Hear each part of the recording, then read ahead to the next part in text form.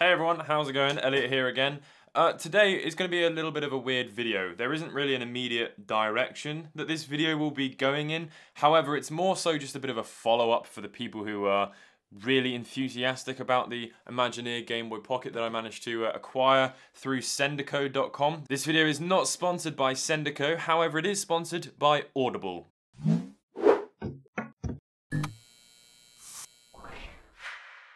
So one of the reasons why I wanted to do this video is because I have actually managed to track down a copy of MRC, which is the N64 game that you actually had to play to win this Game Boy Pocket. If you've not seen the video about this Imagineer Game Boy Pocket, check it out up in the cards this way and also have a look in the link in the description as well. So it's a really in-depth video about the story behind this rare Game Boy Pocket and if you are interested, check out that video.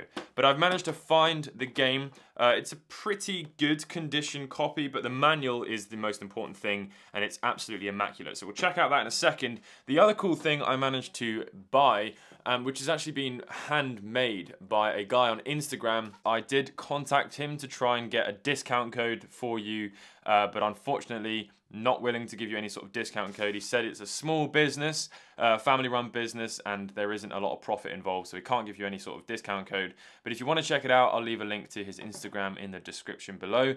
It was a 14 to 21 working day wait. Uh, the two of them together cost just under $50, um, and all you're paying for is just a an acrylic box protector. Uh, so $50 around about for two, and that is not a set price. They get more expensive, obviously, the bigger they are. So if you wanted to protect a Nintendo 64 box, it's going to cost you a lot of money. So I bought two of them. I've also got, you may have seen a video that I made about this, the grey Game Boy Pocket here.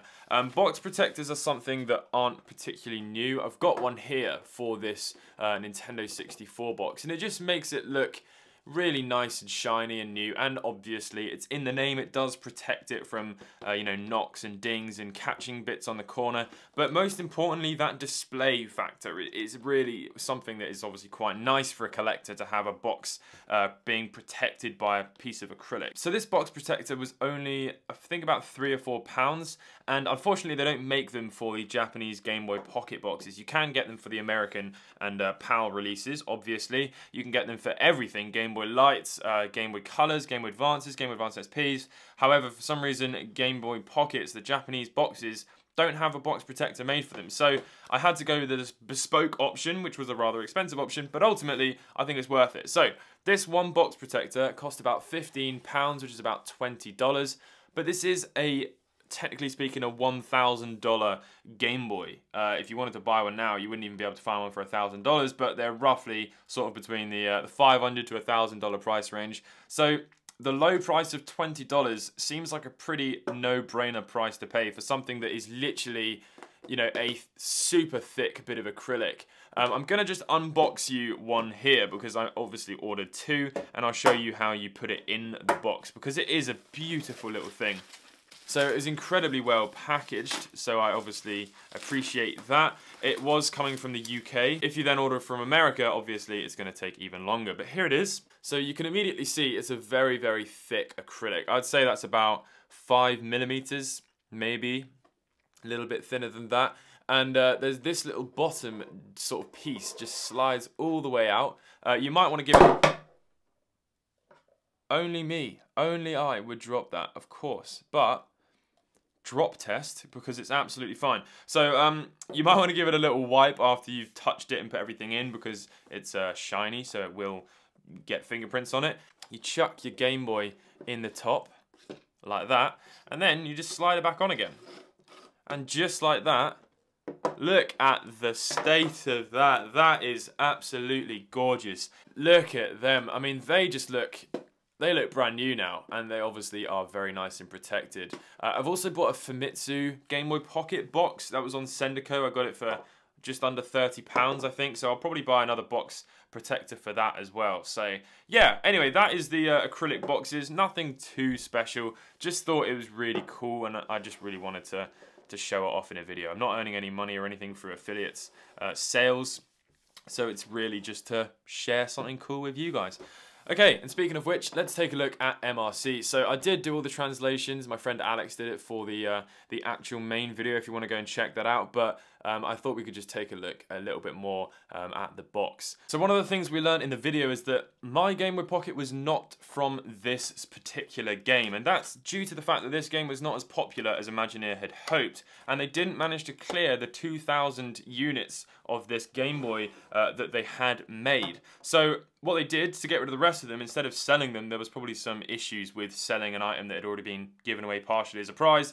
They released another game called Medarot, and they included the competition within that game. One of the things about the Medarot games, though, is it's literally just a little leaflet that you put in four digits that you found within the game, and then you post it off to Imagineer and then it's just a lucky draw. So it's not quite as exciting as trying to, you know, win a time trial race and get the lowest race and then send that off.